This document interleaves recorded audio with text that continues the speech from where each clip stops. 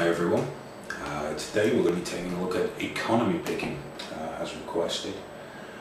Uh, as the name implies, economy picking is about using the least amount of movement possible, uh, gaining the maximum result. It's like economy of motion. You don't want to put too much extraneous movement in there so you can keep controlled at all times. Obviously this doesn't apply for everything. Uh, if you're at a gig and you want to crash out that big A chord, you really want to give it some beans. You don't want to be standing there. That sucks, you know. Um, but on the flip side, if you're doing your lead, you want to be normally nice and controlled and minimal movement.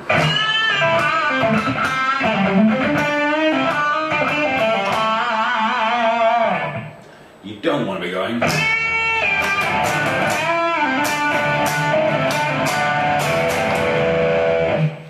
Might, but uh, if you do, you probably don't watch the rest of this lesson. So, the pattern we're going to look at today to learn about economy picking is a very simple one. It's just up here at the 12th fret. Uh, I suppose you could say it's in E Phrygian if you like, or A minor, um, if you prefer. So the pattern sounds something like this.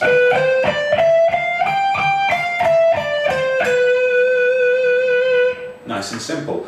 And the fingering itself is very simple. We'll start off on the B string with your index finger on the 12th fret. Your second finger hits the 13th. Then the little finger on the 15th. And on the high E we repeat that. Index finger on the 12th. Second finger on the 13th. And little finger on the 15th. Now obviously for the pattern we're actually hitting this note twice. So we get something like this.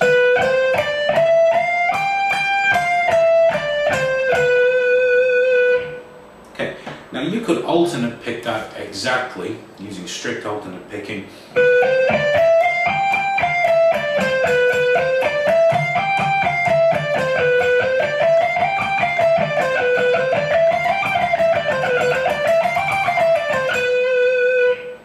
There is quite a lot of extra movement there that you don't really need. And this is where economy picking comes in, where you try and keep your pick moving in the direction that you're heading. So if we're going up towards the high E, we would use a downstroke coming from that D note. So we would pick down,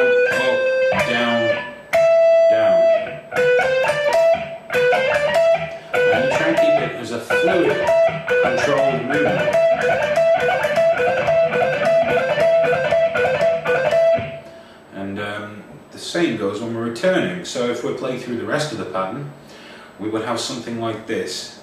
I'll uh, shout out the pick direction, by the way.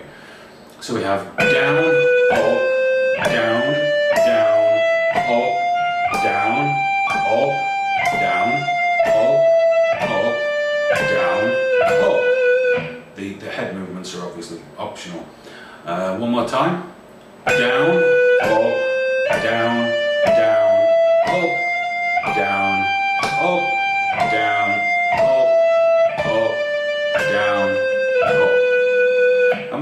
across the strings, try not to pick the two separate notes like you pick, move between them.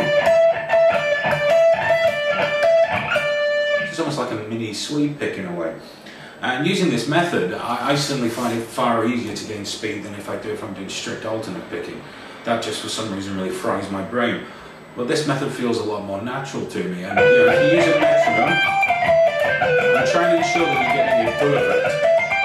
And then gradually Now,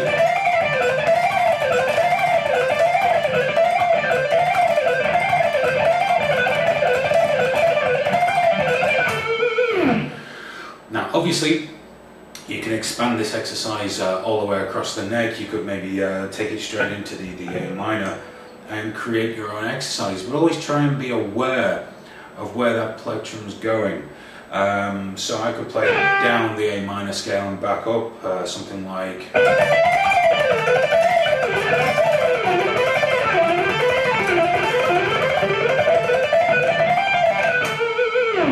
And all I was doing was taking the same idea and, and moving it down uh, the A minor scale, although rather you probably rather hit that one than that one.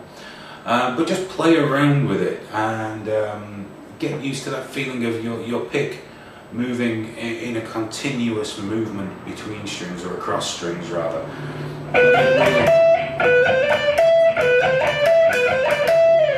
It may feel alien at first, but you will pick up on it pretty quickly. So what I'm going to do is stop this lesson there, because I think we've already gone on for five minutes. Um, in the next part of this, we're going to look at a slightly more complex arrangement and using it across the neck and in different ways. So I hope you check that one out. Thanks for watching.